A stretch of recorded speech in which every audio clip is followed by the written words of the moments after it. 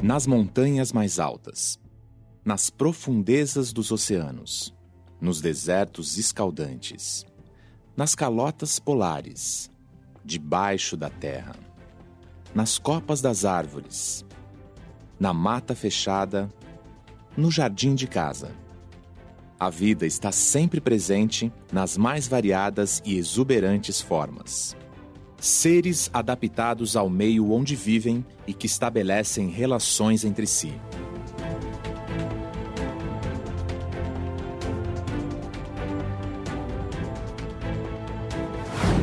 O corpo da abelha se encaixa perfeitamente ao formato da flor.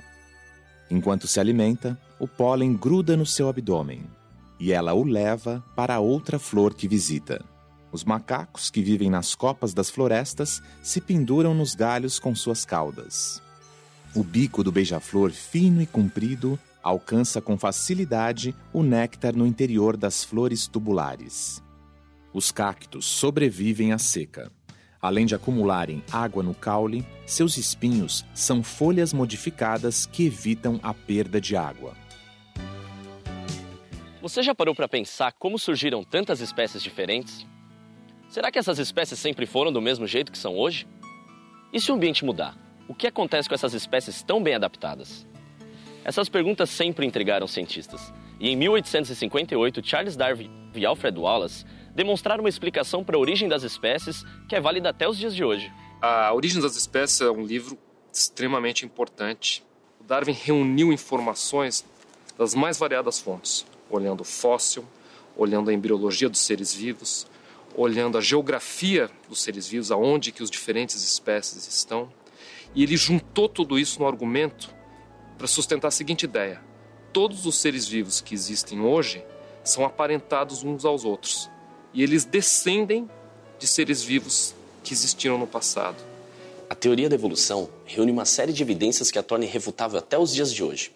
Uma de suas principais se deu por meio do estudo dos fósseis. Essa palavra deriva do termo latino fósseis e significa ser desenterrado. Fósseis são restos e vestígios de animais, plantas e outros seres vivos que se conservaram de uma maneira natural ao longo de milhões e até bilhões de anos. O trabalho dos paleontólogos é descobrir e estudar esses registros arqueológicos que são encontrados no solo e subsolo da Terra. Fomos no oeste de São Paulo e encontramos fósseis de uma pequena ave. Né? Esses ossos aqui seriam as aves conhecidas mais antigas do Brasil e talvez até da América do Sul.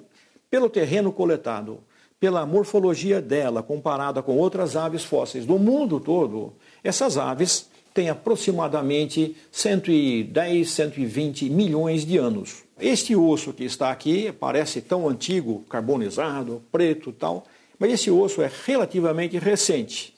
É um osso que não deve ter mais do que 15 mil anos. Esse dente é um dente de é, é, mastodonte, é um tipo de elefante que existiu aqui na América do Sul e aqui no Brasil, e esse procede do Nordeste. Quando se cai num terreno adequado à fossilização, então eles são fossilizados. E quanto mais tempo ele ficar preservado como osso, ele pode ser substituído quimicamente. Aqui não temos mais osso quimicamente falando. Ele virou tudo mineral. Porém, microscopicamente, conserva ainda a estrutura de um osso, porque o mineral vai substituindo o tecido orgânico lentamente e mantém a forma, inclusive a nível microscópico. Depois de encontrado, o fóssil é estudado para se determinar a idade, a forma do corpo e a estrutura óssea, ou seja, as informações necessárias para se reproduzir um animal por inteiro, como esse. Professor Herculano está trabalhando em um taubatério. Taubaterium é um mamífero que mais comum entre os fósseis que coletamos aqui na bacia. Jamais encontramos um indivíduo completo. Encontramos dentes, fragmentos de crânio, de mandíbula, de coluna, de costelas, de todos os membros, de todos os, os ossos praticamente. Hoje nós temos uma ideia, mais ou menos, de como era o corpo inteiro desse mamífero. Então o crânio vai ser, vai ser reconstruído aqui e nós vamos buscar a forma que ele tinha, tanto no focinho, no nariz, na abertura do olho, né, no encaixe da mandíbula, tudo o máximo que a gente puder conseguir de realidade. E sobre a evolução das espécies? O que esses fósseis podem nos dizer? Eles podem nos dar indícios de parentesco entre os seres vivos já extintos e os atuais. Durante sua viagem pela América do Sul, ao passar pela Argentina, na praia de Punta Alta, Darwin encontrou fósseis de uma preguiça gigante. Notou as semelhanças do animal pré-histórico com as espécies de preguiça que ele havia visto. Para Darwin, isso foi uma forte evidência de que as espécies mudam ao longo dos tempos. Ele desenvolveu as ideias sobre como essa mudança evolutiva ocorre. Isso foi basicamente a ideia da seleção natural. A seleção natural é um mecanismo que explica como ocorrem mudanças ao longo do tempo. Se diversas espécies podem ter o mesmo ancestral, isso significa que, por mais diferentes que possam parecer, elas devem ter semelhanças anatômicas entre elas. Essas semelhanças morfológicas e funcionais são mais uma evidência da evolução. O nosso próprio corpo, por exemplo. O corpo humano guarda evidências da evolução biológica e de nosso parentesco com outras espécies. Os nossos braços. À primeira vista, não tem nada de parecido com as asas de uma gaivota, ou as patas dianteiras de um cavalo, ou ainda mais, as nadadeiras de um golfinho. Mas por incrível que pareça, esses órgãos têm a mesma origem embrionária, ou seja, derivam do mesmo tipo de célula do embrião, antes delas começarem a se transformar nos tecidos e órgãos que vão constituir o ser vivo. São considerados órgãos homólogos e indicam que nós, os golfinhos, as gaivotas e os cavalos, somos todos descendentes de um ancestral comum. Examinando melhor e comparando essas estruturas, notamos que, embora tenham formatos diferentes, possuem o mesmo conjunto de ossos e de musculatura. Os órgãos homólogos são as diferentes formas que a gente vê nos seres vivos hoje que representam variações a partir de uma estrutura comum. Se você olha atentamente os ossos que compõem cada uma dessas estruturas, você vai ver que, na verdade, são essencialmente os mesmos ossos que estão presentes em cada um deles, só que modificados. Existia um órgão no passado e ele sofreu modificações evolutivas, originando os três diferentes tipos que a gente vê hoje: asas, nadadeiras e braços. O processo evolutivo é que explica cada um desses três tipos de modificação que ocorreu ao longo do tempo. A evolução consiste em alterar coisas que já existiam. Já existia um repertório de ossos, de tecidos para montar um tipo de braço. Ele foi modificado para exercer diferentes funções. Mas como se dá o processo da evolução? Como diferentes adaptações se fixam a uma população a ponto de gerar uma nova espécie? Para explicar esse processo, a teoria de Darwin Wallace lança duas ideias fundamentais: variabilidade e seleção natural. A seleção natural ela é baseada em umas premissas muito simples, mas ela explica coisas fascinantes. Quais são as premissas simples? A primeira premissa é de que existe variação nos seres vivos. Então, por exemplo, tem bichos que são maiores, outros são menores, uns que têm pelagem mais escura e outros que têm pelagem mais clara. Outra premissa importante é que parte dessa variação é herdável, ou seja, é transmitida dos pais para os filhos. Pais com pelagem escura tendem a ter filhos com pelagem mais escura. Pais maiores tendem a ter filhos com tamanhos maiores.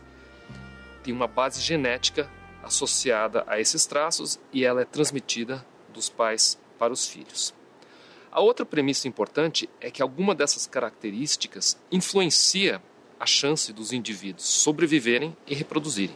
Vamos imaginar que a pelagem escura protege o organismo de predadores, que torna ele mais difícil de enxergar porque ele habita um solo que é bastante escuro. Se eles sobrevivem mais, significa que eles têm mais oportunidade de ter filhos.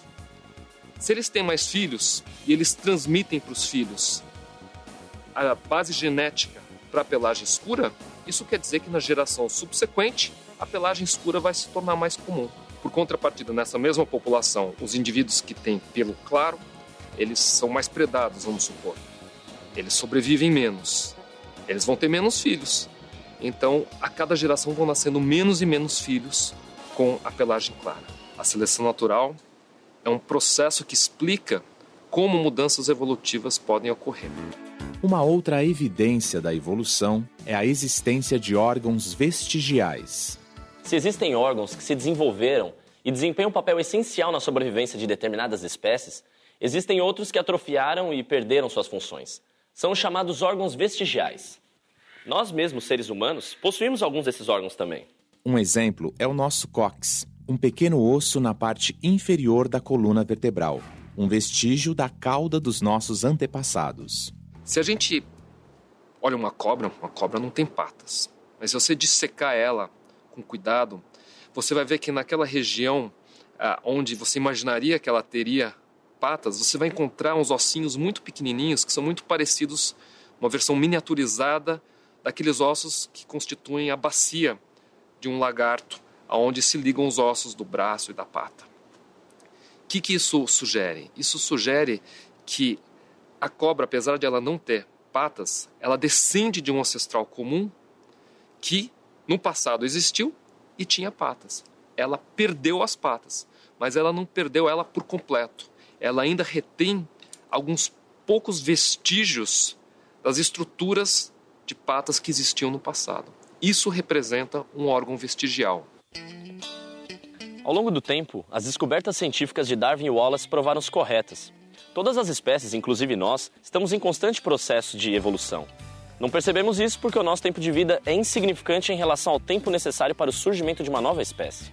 Mas compreender esse processo é essencial para entendermos que somos parte da natureza. Temos muito mais em comum com outros seres do que imaginávamos, e respeitar esse passado é respeitar a vida.